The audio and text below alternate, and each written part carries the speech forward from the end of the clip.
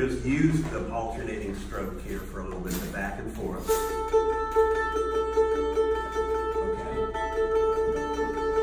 Okay. Now that's easy enough over one string or one pair of strings. But when you start splitting that up a bit, like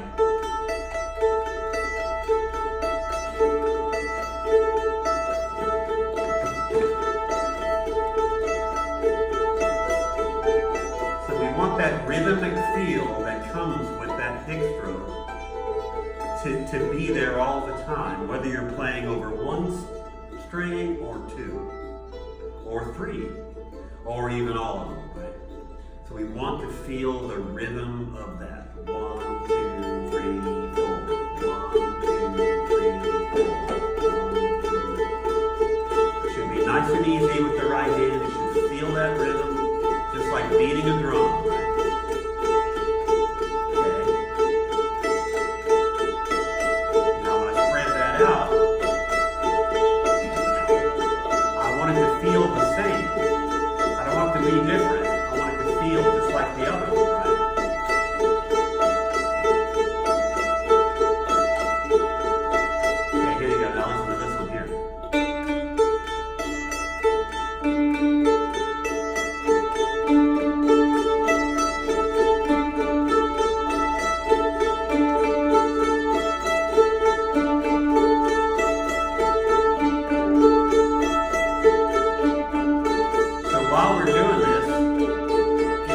feel like playing one string. We want it to feel like that.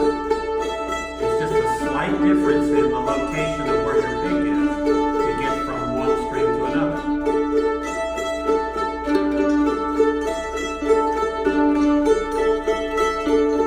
Now, the brain likes to think about the steps of this.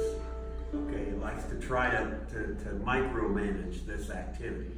It tries to get involved and it tries to define every step of it. Okay, that's that's kind of a natural thing until you trust it enough what your hands are doing and what you're hearing to, to start to loosen up with the thinking and the analysis. And I might think of like this note,